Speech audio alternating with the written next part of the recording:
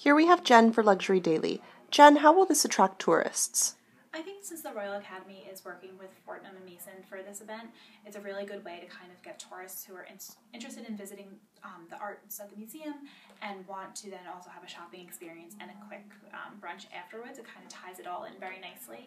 Um, and it's pretty inexpensive, so consumers who may not have gone on a, necessarily like a shopping spree while they were on vacation at Fortnum um, would have the opportunity to go to the store, have some free time to uh, roam around before it's actually open, which I think is a really fun aspect of this. And it kind of just introduces what Fortnum has to offer, whether it's you know something to purchase or a sit down lunch.